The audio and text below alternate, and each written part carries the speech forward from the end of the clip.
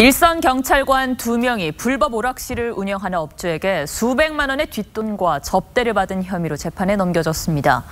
경찰관들은 돈을 받은 대가로 업주에게 단속 정보를 흘린 것으로 의심받고 있습니다. 박성재 기자가 단독 보도합니다.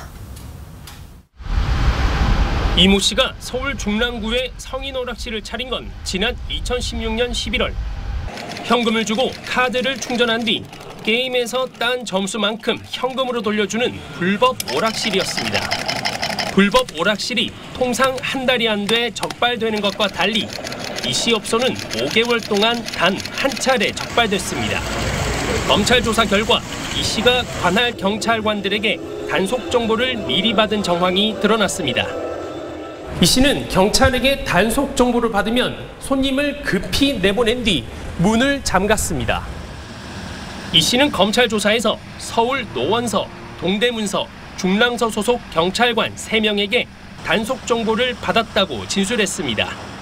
이 씨는 그 대가로 수차례에 걸쳐 각각 현금 수백만 원을 주고 룸살롱 접대를 하는 등 이른바 관작업을 했다고 말했습니다.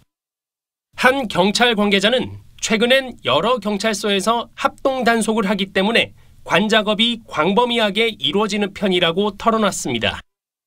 경찰이라든지 아니면 단속 공무원으로부터 비호가 있지 않은 한 정상적으로 운영할 수 없는 그 상태입니다.